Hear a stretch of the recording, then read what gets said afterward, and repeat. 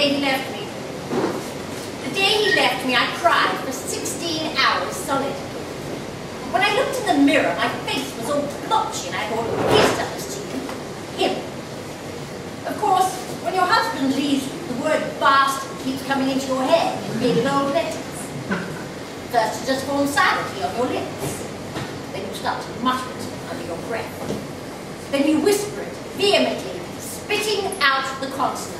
And as it drums in your head, so you bang it out deep and loud.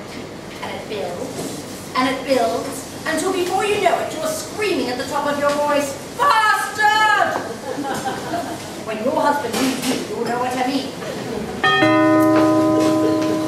There's bastard now. Bang on time.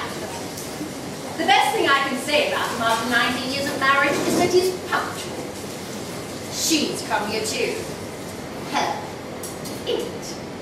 They've come together for dinner. I suppose they'll let them in. No, they can wait.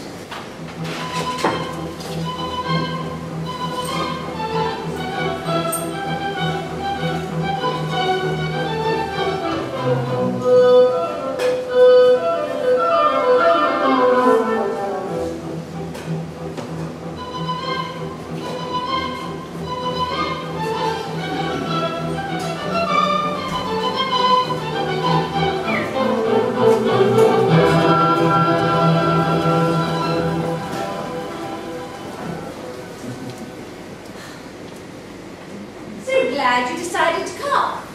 Makes a change from sitting here by myself. One doesn't like to cook for one, does one? Well, I hope you haven't gone to too much trouble. We had a lot to eat for tea. So you're not hungry then? Of course we are. Starving. Well, I hope so. There's enough to feed the 5,000. Ah, well, smells good, Hillary. The proof of the pudding is in the eating. I'm on a diet. She doesn't need to diet, does she, Kate? No, she's beautiful the way she is. How lucky you are from a husband who adores you, no matter what you look like. I haven't offered you a drink. What would it be, Kate? The usual. Uh, uh, a white wine, please. And you, what's your poison? I know what Ken has. How lovely, we're all having the same.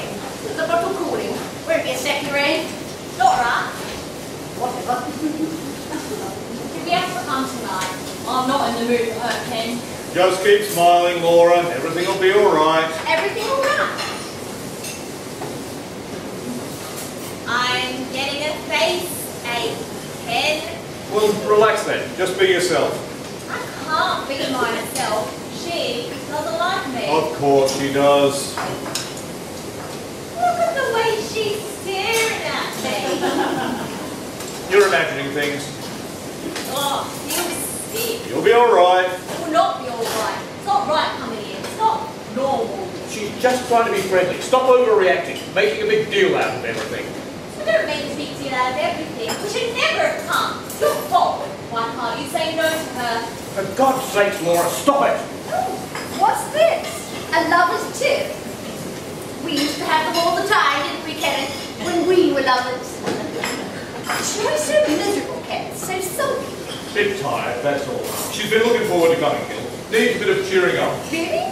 She's not making much of an effort. If I didn't know better, I'd say she didn't want to be. No, no, she's... We're both thrilled you invited us. It's nice to behave in a civilized way, you know? After the way you treated me. Still, I hope your wife feels the same. I wouldn't want to be the cause of it, really. No, no, it's fine. Everything's under control. You're looking very well. Isn't Hillary looking well? Laura?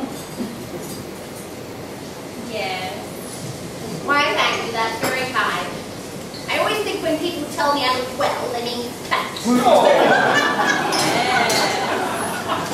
Well, I'm fat, and I'd rather enjoy my food than my figure. Don't come on, Sophie, cheer up. What does she mean, cheer up? What does she expect? What were you two whispering about anyway? When? Just then. You were talking about me. Don't start getting paranoid. Hillary was only making a little joke. Well, there's no need to whisper unless the joke was about me. No, you don't know the person. Someone we used to know. Oh, great. I didn't know you were going to be talking about old times. Shut up! What are we having for dinner, Hillary? Smells delicious. Very special dish, Kenneth. A surprise. That's what we're having for dinner. A surprise. Well, knowing you, it will be extremely palatable. Ahead, sir. You do both eat meat. Yeah. Excellent. I couldn't bear it if you're vegetarians. And I didn't think to ask. I assume you haven't changed your taste in food. Only women. She's staring at me again, Kenneth. Don't be ridiculous. At least try and make an effort. She's been through a lot, you know. And I haven't. And not now, Laura, please. Why tonight? She knows it's special. Why invite us round tonight? And you have to say yes. I love to celebrate. Any old reason will do for the celebration. How long has it been? Three years. Three years. My, my, three whole years and still together. Well done, both of you. How long did we last, Kenneth? Nineteen. Is that all? Still, three years. You must be very pleased. Fucking Laura! Sorry, Hillary. Don't apologize for her. Just let her be herself.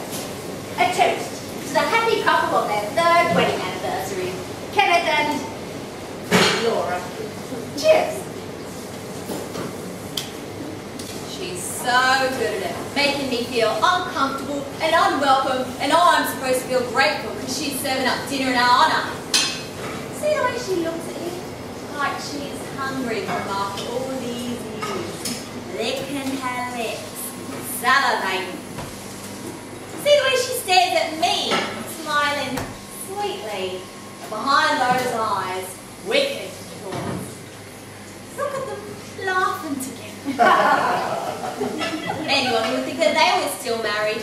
Anyone would think it was their anniversary, their celebration. Should have brought them a present. Cigarette. Oh, I'll have one. You don't smoke. So, I can have a cigarette if I want one. Oh dear. Is she being a bit of a babe? No, she isn't. She just fancies a smoke. Well, I have cigars if you'd rather. Or a pipe. It doesn't surprise me. I can just see you with a pipe stuck in your gob. Now, Laura, we, we don't want any arguments. Nobody's arguing, Ken. Just keep your nose out. Can I, can I help you with anything, Hillary? Not just now. Everything's going according to plan. How is it that you're going to help her, Ken? What? How are you going to help her? I don't know. That would be up to Hillary. But you've never been in the kitchen before. How could you possibly help her? Just so long as you don't go anywhere near it, we should all be safe from salmonella. Kenneth doesn't like my Hillary, but he's always spoken so highly of yours. Well, that's nice to know. We have to be appreciated for something. Yes, we do. And don't think I don't know what her game is. Bringing him in, tempting him back to their fine food, showing me up for a fool. Well, I hope it burns and she serves up ashes. Hope it's souffle that flops like fart. Maybe I could go in there and turn up the oven. Better still, just turn it off so she thinks it must be done, whatever it is uncooked and cold, still frozen in the middle. She'll have to send off for a he would be. So badly let down. Tried to stuff his face before we came, so he wouldn't have an appetite, but he sacrificed mine for hers. Well, that fat pig might just regret it if there's no dinner at all. Besides, he only has to taste her trifle, sniff her soup, swallow her salmon mousse, and he'll be in raptures. Seventh, heaven. I won't allow it, won't tolerate it, I will not let him touch her food. Peanut, anyone? Ah, perhaps I should put a record on.